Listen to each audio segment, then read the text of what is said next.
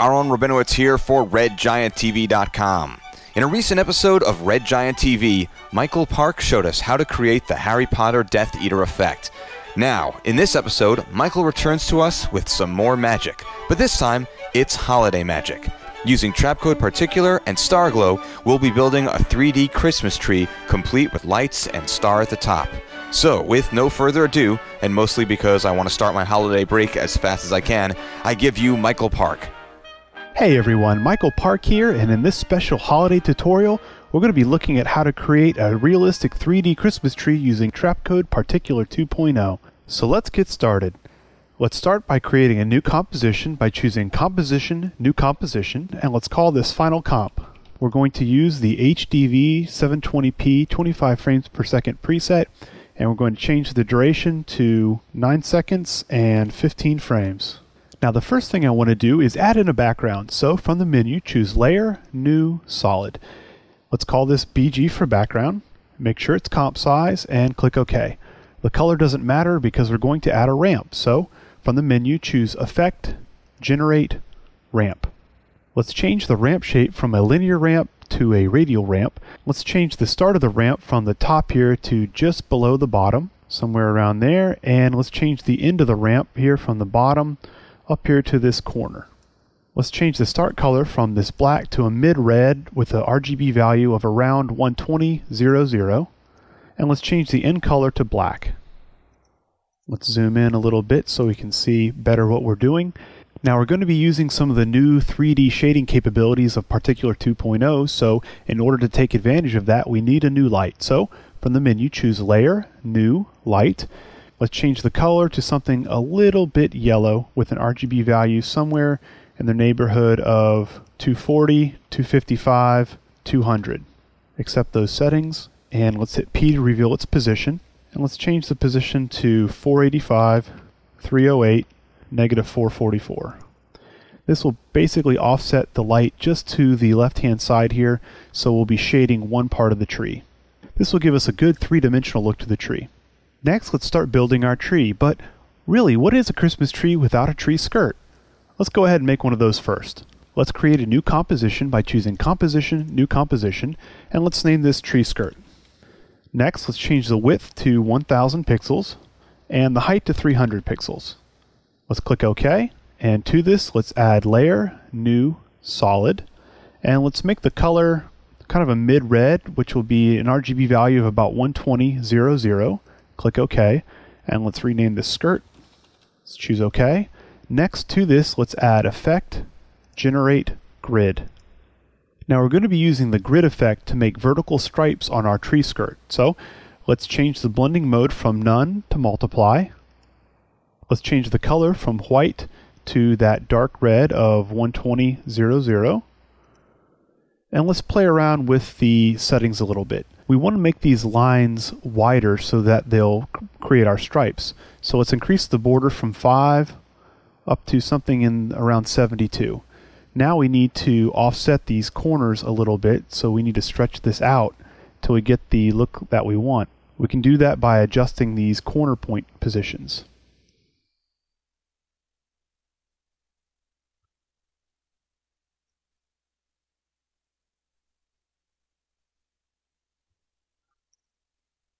Now what we're going to be doing is actually wrapping this skirt around into a circle. So we want this last edge on this side and on this side to be exactly half the width of our stripe so that it matches up nicely.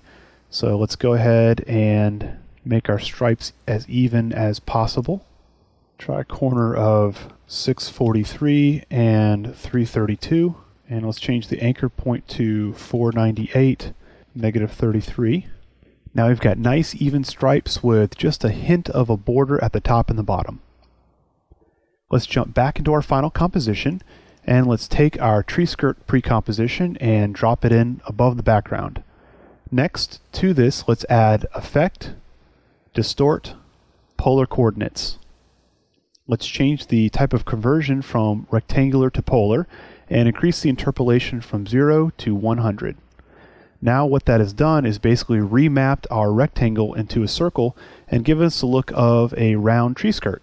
Now before we go any further, let's add a camera to our scene. From the menu, choose Layer, New Camera. Let's make it a 35mm preset and click OK. Select our tree skirt pre-comp again and let's make it a 3D layer by clicking the 3D switch. Select your rotate tool and let's rotate this 90 degrees by rotating on the x-axis, hitting shift, and rotating it till it snaps to 90 degrees. Now let's drag this down in space until it comes here to the bottom. Hit P to reveal its position and let's drag it up maybe just a hair to about 654 in the y-axis. Now it looks a little dark because we made it a 3D layer and it's interacting with this light. I don't want it to interact with the light, so let's select the layer and bring up the material options and let's change the accept lights from on to off. Now the tree skirt is looking a little too flat in color, so let's go ahead and take care of that. If the skirt's going to be under a tree, the center is going to be a little darker than the outside edge. So let's mimic that. With the layer selected, choose Layer, Layer Styles, Inner Glow. Let's twirl down the Inner Glow properties and let's change the color from this yellow value to a dark red with an RGB value of 8000. And let's also change the blend mode from screen to multiply and change the source from edge to center. This will make the glow come from the center instead of the edge. Let's increase the size from 5 to 40. Now adding that layer style really helped the look of the tree skirt, however it's still looking a little flat. No problem. Let's create a new adjustment layer by choosing Layer, New, Adjustment Layer, and let's rename this Mesh Warp. Let's drag it just above the tree skirt, and with that layer selected, choose Effect, Distort, Mesh Warp. Now let's increase the rows from 7 to 20 and increase the columns from 7 to 10. As you can see, we have a point lined up here right in the middle of our tree skirt. Let's take that point and drag it up in Y space and we can adjust these handles just a little bit on either side. And if we hop off there, you can see that adding that mesh warp really gave us the illusion of a round tree skirt, which is exactly what we want. All right, this is looking better, but it still looks like it's floating around here in space and there's no floor. Let's take care of that next. From the menu, choose Layer, New, Solid. Let's rename this Solid Floor. Let's make the width 1500 pixels and the height 1500 pixels. And let's make the color an RGB value of 8000. Let's choose OK. And let's turn this into a 3D layer. I want to cut this out into a circle, so with the layer selected, double click on the ellipse tool to create a circular mask.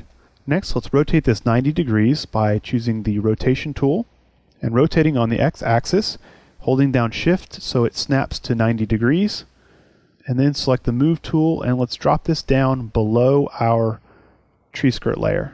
Now you'll notice that no matter how far down we drop this layer, it's not going to go below the tree skirt.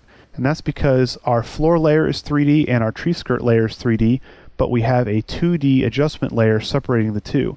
What we need to do is drop the floor layer below the tree skirt and position it so that's right about in the center of the skirt. Now let's hit S to reveal its scale, and I want to scale this up pretty big. I really want this to go into the distance. So Let's increase the scale value from 100 to 1000.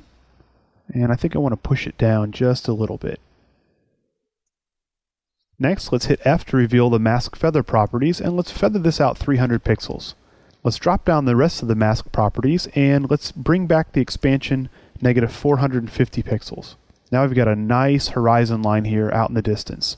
I still want to see a little more definition under the tree skirt, so let's select the tree skirt and choose Layer, layer styles, drop shadow. Alright, enough with the preliminaries. Let's get started on the tree. From the menu, choose Layer, New, Solid, and make sure it's comp size.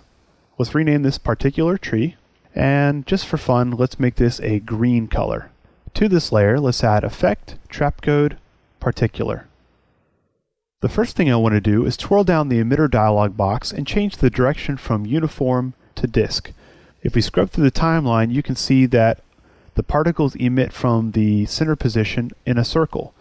However, if we rotate this on the x-axis, you can see that it actually casts the particles out on a flat horizontal plane, not in a spherical pattern like the default uniform direction would. Let's decrease the directional spread from 20 to 0. This way all the particles are on the same plane. Let's make the rotation 90 degrees.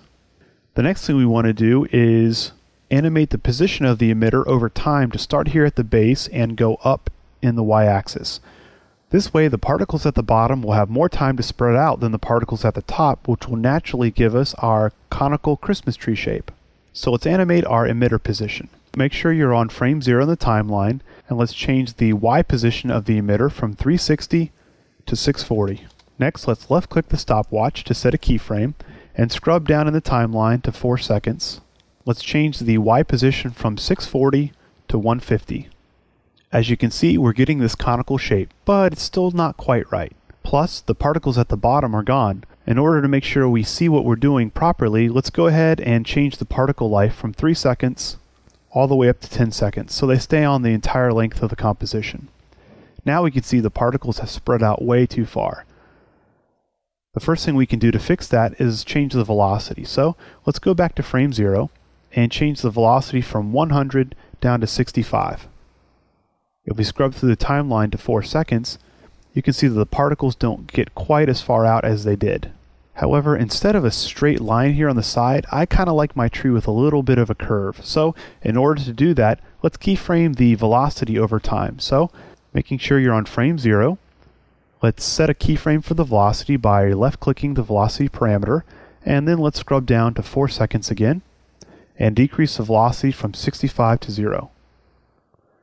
Now as you can see we get a nice curve. However, we've got too much of a concentration of particles here at the top. So once again, let's go back to frame 0 and let's keyframe the particles per second by left clicking the particles per second stopwatch.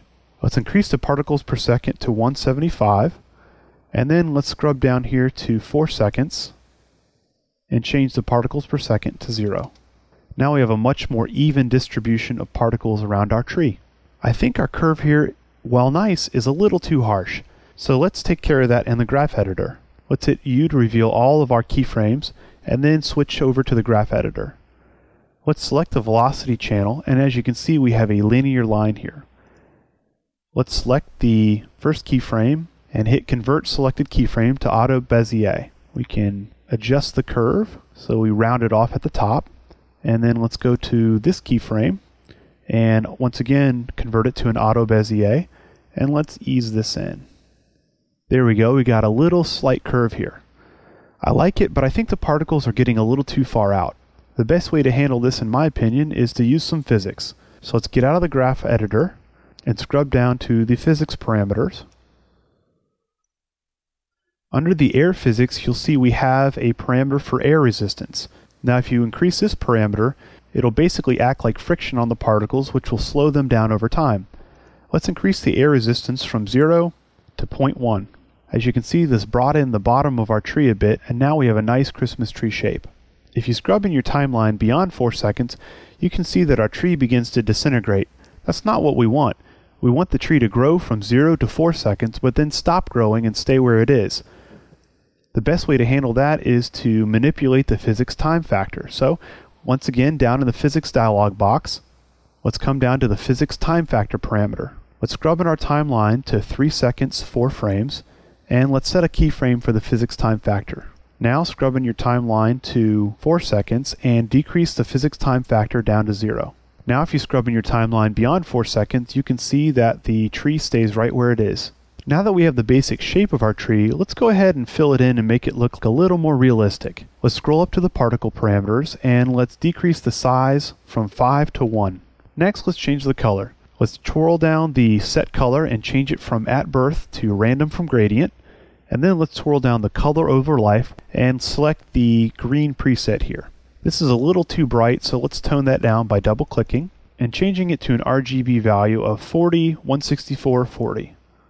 Let's change the darker green color to an RGB value of 10, 110, 10. Next, let's go to the shading and twirl that down and turn the shading on. Let's change the nominal distance, which is the distance from the light that the particles are affected, from 250 to 220. And let's change the diffuse color parameter from 80 to 100. Now we've got a lot of small particles in our scene, but no real tree. Well, the way we're going to do that is using auxiliary particles. So let's go down to the auxiliary system, twirl that down, and change the emit setting from off to continuously. Now the main particles will continuously emit auxiliary particles as they branch out from the center. Let's go ahead and change some of these parameters. The first thing we want to do is change the particles per second from 10 to 70. This will give us a little more density in our tree. The next thing we want to do is change the life from 0.5 seconds to 6 seconds.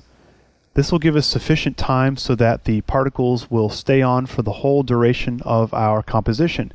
As you recall, we basically froze the particles in time after 4 seconds, so with a life of 6 seconds, our auxiliary particles will stay on the entire composition.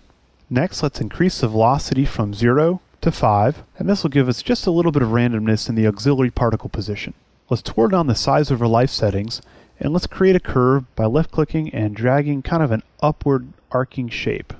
This will make the particles at the tips of the Christmas tree a little smaller than the particles at, in the middle, and this will give us a little more realistic look. Next, let's change the color from main from 0 to 100%. Now the auxiliary particles will take on the color of the main particles that emitted them.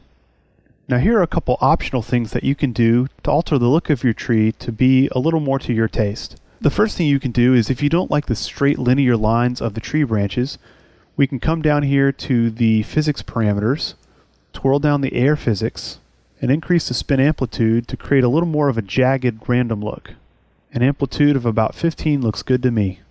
Another adjustment you may want to make involves the angle of the tree branches. As you can see, all of our tree branches angle upward about 20 degrees. Now, in most real trees that I've seen, the lower branches are bigger and heavier and kind of droop a little downward or more parallel to the ground, and the upper branches, which are lighter, tend to stick upwards. The way we can affect this tree in the same manner is to change the velocity for motion parameter. Let's set a keyframe for the velocity for motion at 4 seconds by left clicking the stopwatch. And then let's scrub back into the timeline to 0 seconds and change the velocity for motion from 20 down to negative 5.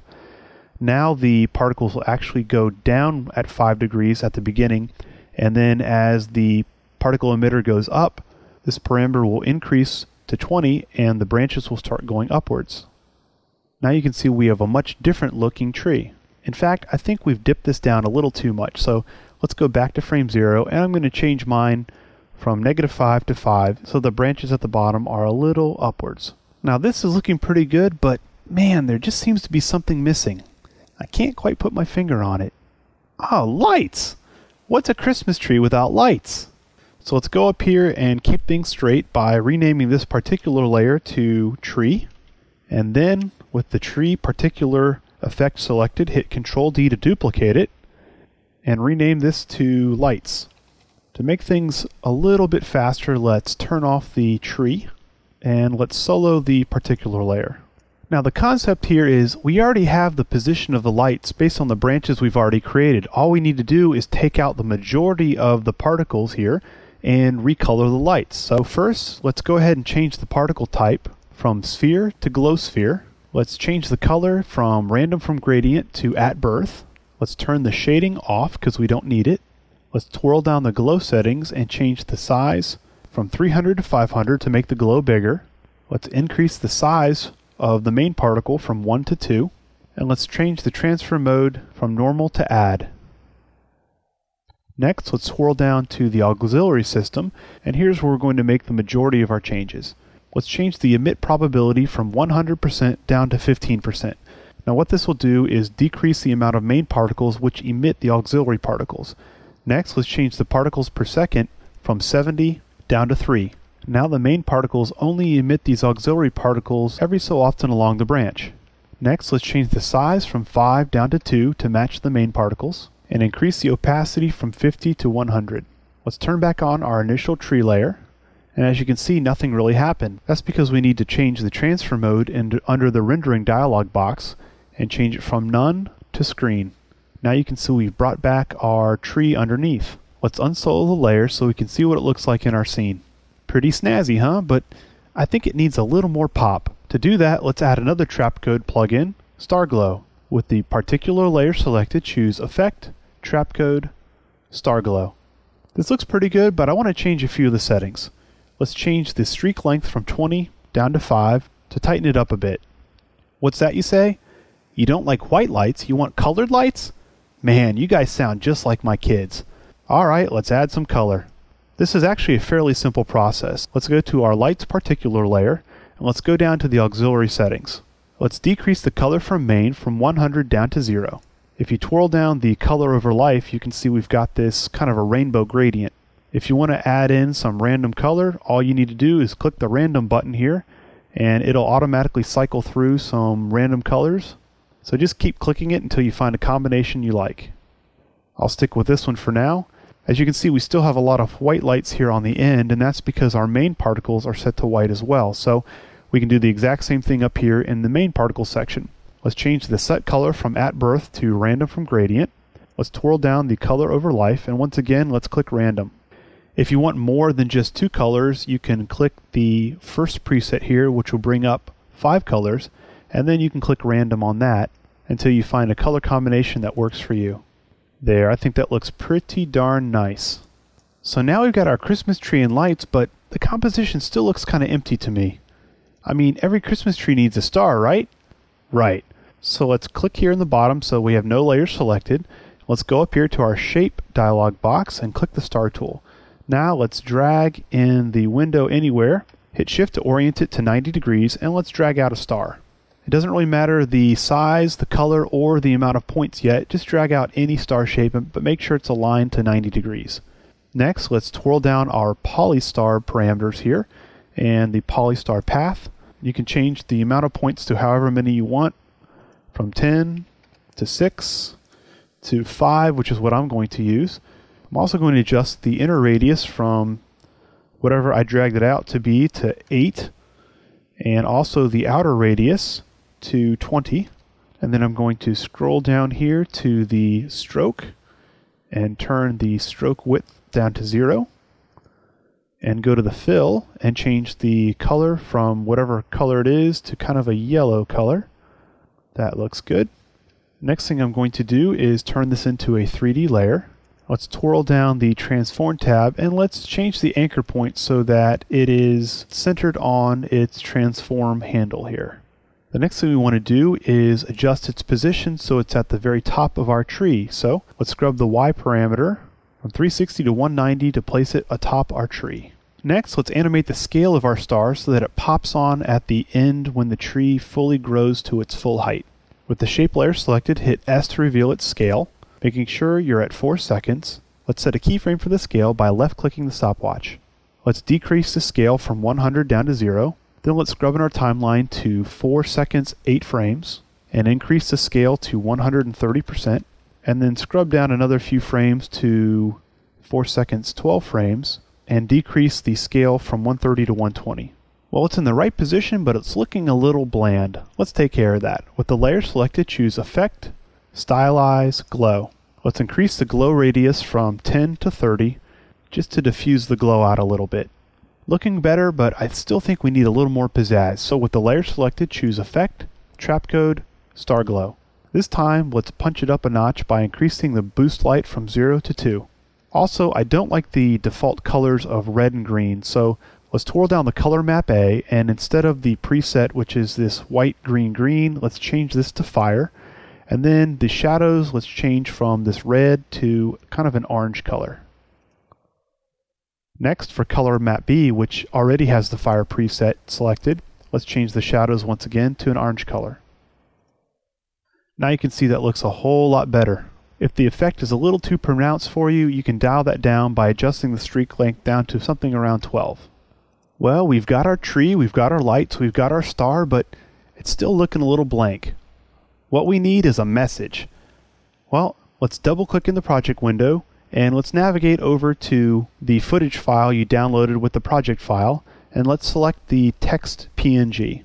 Let's drag this into a new composition, and as you can see it says Happy Holidays from Red Giant TV. Now the reason why I pre-rendered this out is, number one, I'm not sure that everyone has this particular font I used, and just so that this is consistent across the board, everybody's got the same thing. Secondly, I've gone ahead and pre-positioned this where it needs to be because we don't need to really spend five minutes figuring out the right position to put our text in to make it line up properly. What I do want to do in this pre-comp though, and the reason why I have pre-composed this is we're going to use this as a source layer for some particles And if you're using text as a source for particular, you always need to pre-compose it. In addition, what I'm going to do is have this fade on at a particular time, so I'm going to take care of that in the pre-comp. This way we won't have to adjust where the particles come on in the next step. You'll see what I mean. Scrubbing the timeline down to 4 seconds 14 frames and hit T to reveal the opacity and let's set a keyframe. Let's decrease the opacity from 100 to 0. Then let's scrub down in the timeline to 5 seconds and 16 frames and increase the opacity back up to 100%. Next, let's go back to our final comp and let's drag our text comp in just below our shape layer. Now if you scrub in the timeline past 5 seconds 16 frames our text will come on. Let's go ahead and make this a 3D layer as all particular source layers need to be 3D. And let's choose layer, new, solid. Let's call this particular text. Make sure it's comp size and let's change the color to, I don't know, yellow. Click OK. To this layer, let's add effect, trapcode, particular. Now basically all we want this layer to do is create little sparkles on our text over time. So let's twirl down the emitter and let's change the particles per second from 100 up to 50,000. I know it sounds like a lot, but we're not going to have them on that long. Next, let's change the emitter type from point to layer. Let's twirl down the layer emitter and change it from none to text. Change the layer sampling to particle birth time and let's change the layer RGB usage to none.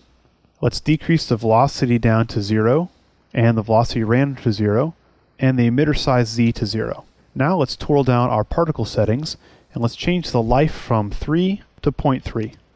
Like I said, we, won't, we don't want these on too long.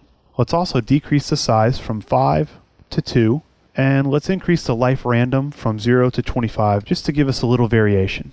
Next, in keeping with the look of the rest of our composition, let's add Effect, Trapcode, Star Glow.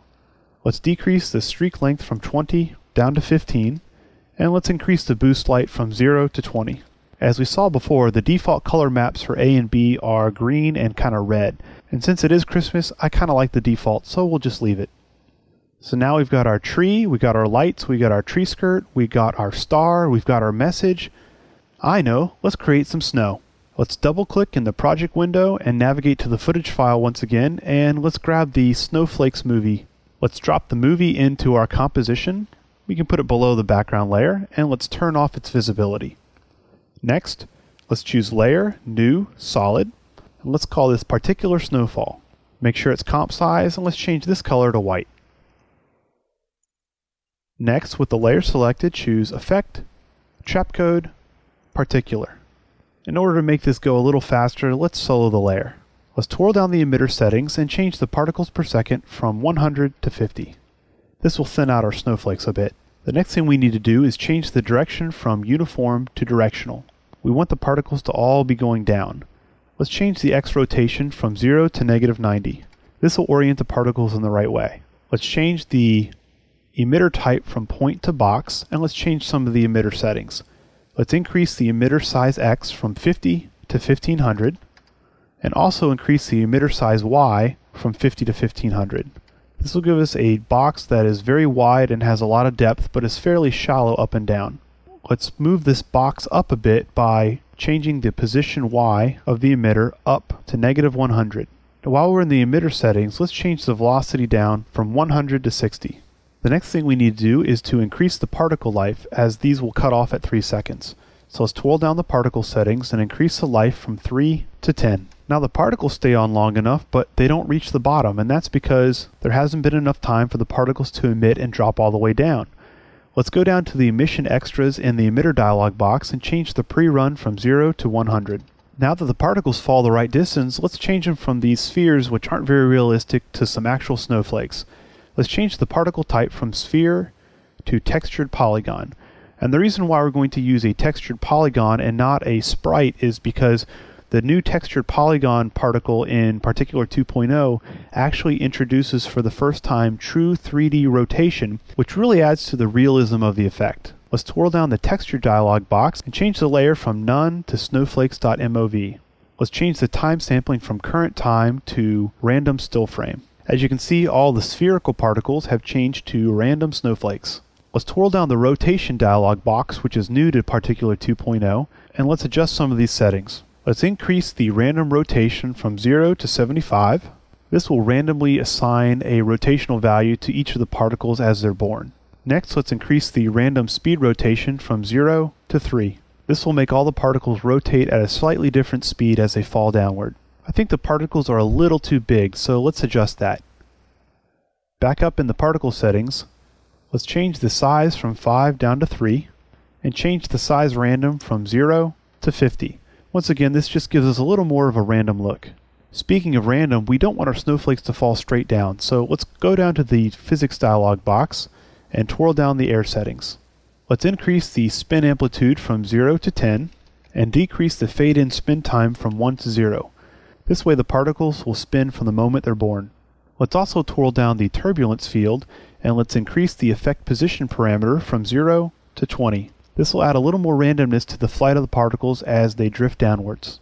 Finally, let's scroll down to the rendering dialog box and let's turn on motion blur by twirling down the motion blur settings and changing motion blur from comp settings to on. Let's unsolo the layer to see how this looks with the rest of our scene.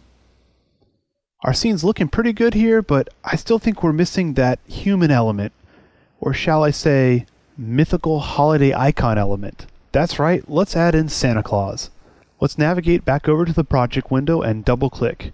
This time, let's grab the triple four oh double oh seven sixty six file, which just so happens to be a Santa Claus movie from the Crowd Control collection over at allbetsareoff.com. Even though I typically rename these files when I download them, I left this one so that you would know exactly what clip it is from Crowd Control should you choose to navigate over there and download it yourself.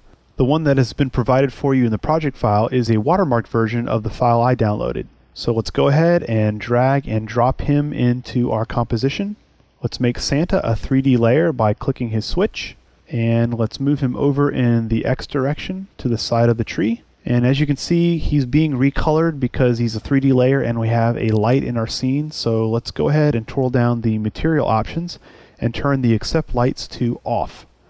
That way he doesn't get recolored or affected at all by our light. Next, let's hit S to reveal the scale and let's scale him up just a bit. 150% looks good. Let's drop him down a little bit so he looks like he's standing on the same level as the Christmas tree.